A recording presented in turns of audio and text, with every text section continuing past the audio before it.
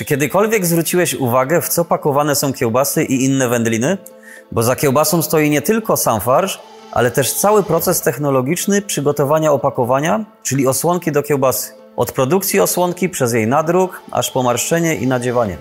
Dzisiaj pokażę Ci jeden z procesów, jakim jest marszczenie osłonki oraz produkcję części do maszyny, bez których ten proces nie mógłby się odbyć. Na naszej DMG Mori wykonamy elementy do głowicy marszczącej, czyli serca takiej maszyny.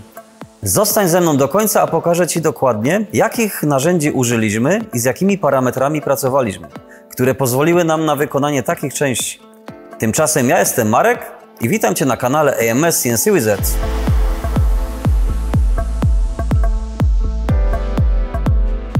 Sztuczne osłonki do wędlin służą do napełniania różnego rodzaju wyrobów masarskich, takich jak kiełbasy, salcesony, pasztety. Ale dziś chciałbym pokrótce opowiedzieć, jak taka osłonka jest przygotowana przed procesem napełniania. Produkcja takiej osłonki odbywa się przez ekstruzję, dzięki której powstaje cienkościenny rękaw z tworzywa w postaci płaskiej taśmy, którą nawija się na rolkę. Takie osłonki mogą być przezroczyste, białe, ale też z nadrukiem, z logo, nazwą produktu czy grafiką. Taki nadruk wykonuje się wcześniej innymi na maszynach fleksograficznych, które drukują na rękawie osłonki. Jeśli jeszcze nie widziałeś naszego odcinka o sekcjach drukowych do maszyny sześciokolorowej, koniecznie zobacz. Tam właśnie pokazywaliśmy serce maszyny drukarskiej, które wykonaliśmy w EMS. A teraz przejdźmy do kolejnego etapu marszczenia. Marszczenie to proces, w którym osłonka przechodzi z płaskiego rękawa nawiniętego na rolkę Zmarszczony, przygotowany do nadziewania baton. Kluczowym elementem całej maszyny jest głowica marszcząca, precyzyjny układ łopatek i przekładni, który formuje tę osłonkę. Wreszcie dzisiaj na naszej DMG Mori wykonaliśmy takie łopatki głowicy marszczącej planetarnej. Zrobiliśmy cztery takie sztuki, tym razem do kalibru 120 mm. Poprzednio robiliśmy głowice do kalibru 90 mm. Na tokarce i frezarce osobno a dzięki DMG skróciliśmy i usprawniliśmy cały ten proces. Dla naszej DMG to idealny temat, żeby pokazać jej możliwości. Zrobimy cały detal od początku do końca, bez żadnego przekładania. Maszyna sama przechwyci detal i wykona obróbkę w dwóch zamocowaniach.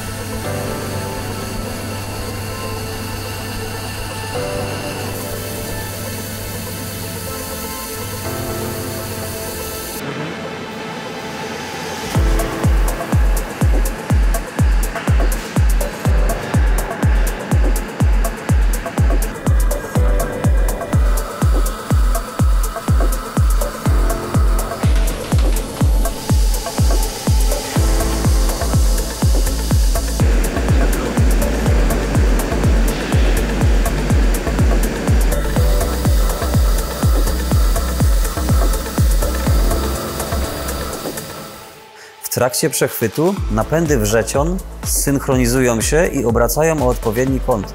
Następuje test szczęk, ich zamknięcie i otwarcie, by upewnić się, że są puste. Gdy wszystko jest gotowe, maszyna dojeżdża do zderzaka. Kontroluje odległość, siłę docisku i zamyka szczęki przeciwwrzeciona.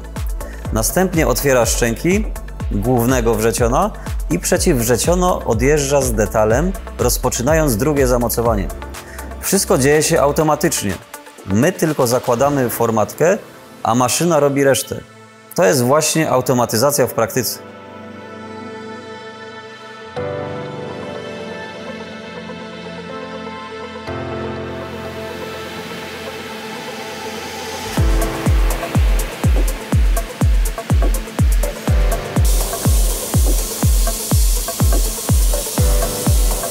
W procesie obróbki używamy toczenia, frezowania, frezowania symultanicznego, wiercenia, wytaczania i wykańczania kulą.